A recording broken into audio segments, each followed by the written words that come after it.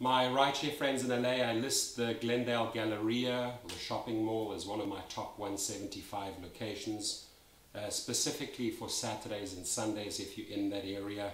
A lot of well-known shops in that mall, very, very busy. Uh, during the week, I would say, you know, daytime hours, not that great. But in the evenings, obviously a lot of restaurants there, a lot of great shopping especially on the big shopping holidays before Christmas and that, you will be super, super busy. You can go in and out there all day long. So sign up under my links, Uber or Lyft or both. If you want to join, you'll get the very best training. We can get on the phone, we can meet for a coffee in LA. I will show you how to work smart, not hard. I will show you how to make 20% more than the average driver. Thank you. Drive safe.